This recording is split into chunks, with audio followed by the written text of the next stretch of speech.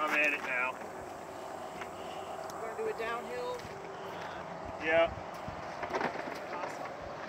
it's actually cleared out a little more and just since I landed, but thinking it's sweet, it's sweet time clearing out Yes, there.